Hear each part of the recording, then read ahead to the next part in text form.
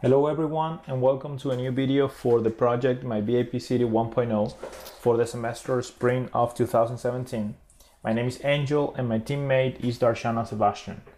The goal of this video is to show you the role of an administrator user within My VIP City 1.0. So let's go ahead and show really quick the responsibilities of an administrator within My VIP City. As you can see in this list, the fundamental responsibilities are add or edit a restaurant profile, update the social feed of a restaurant profile, add or edit the VIP host for a particular restaurant profile, or assign VIP hosts for an attending request. So let's go ahead and show all these respons responsibilities in an actual demo. So let's go and open the website for my VIP city. And as you can see, right now I'm just an anonymous user. So I'm going to log in using an administrator account. So the first thing that you can notice here is this menu admin that appears as soon as an administrator, uh, as an administrator logins in the website.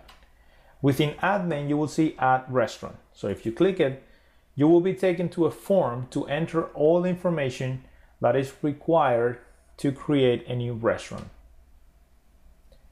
I'm not going to create a new restaurant, but instead I'm going to open an existing restaurant and I'm going to edit the information because adding or editing is pretty much the same thing.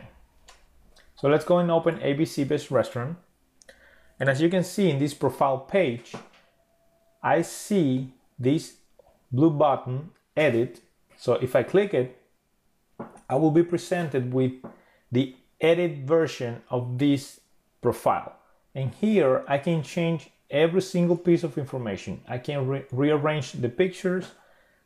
I can uh, change the hours. Basically, I can change anything. So if I click save, now you can see, for example, that the details were modified. So let's click edit one more time and now let's focus on this part right here, the VIP host. The administrator has the ability to remove an existing VIP host. So for example, if I want to remove Ellen, I just need to click yes, delete it, but I'm not going to do that because Ellen is a funny girl. So I'm gonna click cancel. So I'm also can add a new VIP host. So let's create a new one, for example,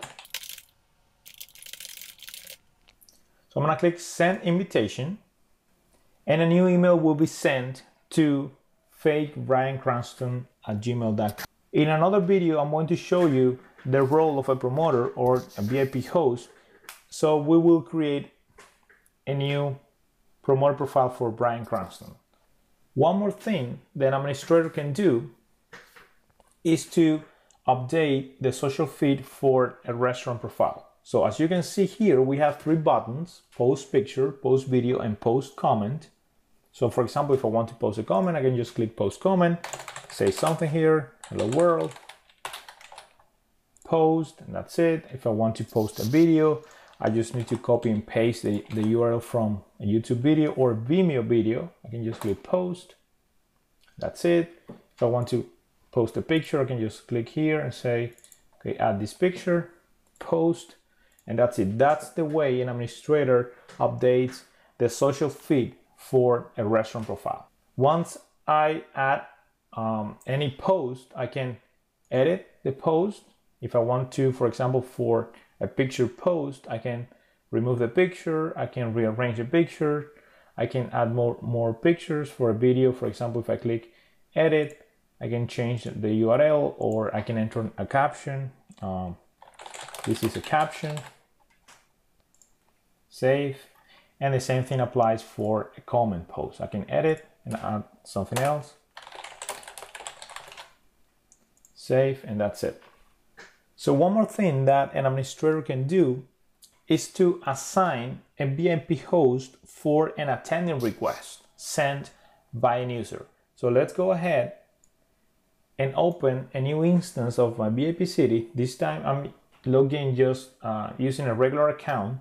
So let's say I want to visit ABC Best restaurant. So I'm gonna say Angel.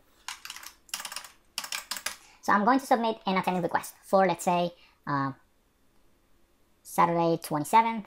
How many your party? Let's say four. How many males? Two. Two females. I want to have a VIP table service. Here, I can select a VIP host, but for the purpose of this video, I'm not going to select the VIP host so that the administrator chooses one for me. And I'm going to click submit. Since that regular user did not select a VIP host, now an email is sent to the administrator with all the information entered by the user. And now it is the responsibility of this administrator to assign a VIP host for that attending request. So let's click assign VIP host. So here, notice that I'm the administrator. I can choose an existing VIP host for that request. So I'm gonna choose Dwayne The Rock Johnson and I'm gonna click assign promoter. So now an email was sent to The Rock because he's now the one in charge for that attending request because the administrator chose him to satisfy that attending request. So those are the main responsibilities of an administrator. So summarizing, an administrator can add a restaurant. He can go to the profile for a restaurant and the administrator can edit the profile. That means that the administrator can, administrator can also edit the VIP host, the existing VIP host, and add new uh, VIP host by sending an invitation to a specific email address. The administrator can also keep updated the social feed for a profile, and the administrator can also assign VIP host for those attending requests where the user did not choose as a, a VIP host.